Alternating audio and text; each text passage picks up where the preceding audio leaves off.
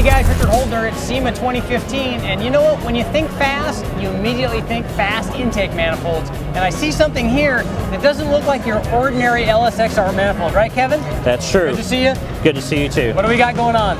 Well, as you said, you know, we've been known for our polymer intake manifolds for a number of years with the introduction of the original LSX. And then we came out with the modular design of the LSR manifold. Perfect. Back here a few years. And it's a patented design with the modular intake runners.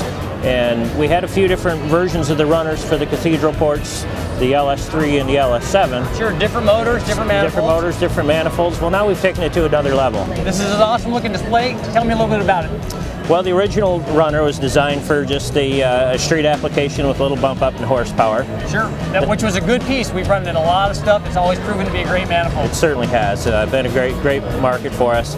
Now we've gone into a new design. We've got this gray runner that's a shorter runner design and straighter, and it bumps up the horsepower and torque about 500 to 1,000 for a higher, more race application.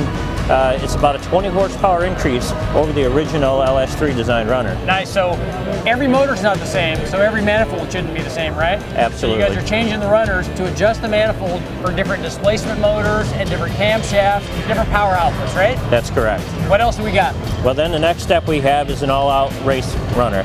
Again, it's shorter yet than the uh, the high horsepower runner, and this bumps up the RPM of the torque and horsepower again and this is additional 35 horsepower over the stock nice. runner. Push the power up higher and higher, right? Yes, it is. Awesome. We can't wait to see this. I know guys are really excited to see this manifold come to market. When can we expect this baby? This will be available in the second quarter of 2016.